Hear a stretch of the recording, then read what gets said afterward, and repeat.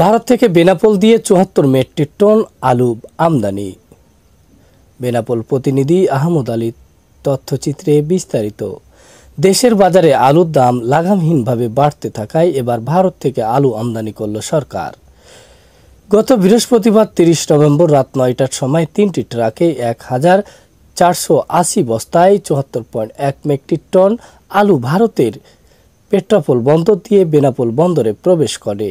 আলুর আমদানিকারক প্রতিষ্ঠান Integrated Food and Beverage Bangladesh ও রপ্তানিকারক পেপসিকো ইন্ডিয়া হোল্ডিংস ভারত গতকাল শুক্রবার সরকারি ছুটি থাকায় আজ শনিবার দুই ডিসেম্বর আলুর চালানটি ছাড়করণের কাজ সম্পন্ন হবে।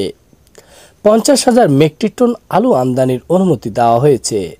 দেশের বেনাপোল স্থলবন্দর ও হিলি বন্দর দিয়ে অনুমতিপ্রাপ্ত আলুগুলো আমদানি করা হবে।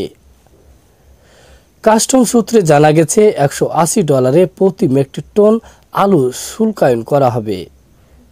ভারত থেকে আলু আমদানি করে দেশে আনতে সব মিলিয়ে কেজি প্রতি খরচ হচ্ছে আঠাশ থেকে উনত্রিশ টাকা। এতে করে দেশের বাজারে আলুর দাম অনেক কমে আসবে।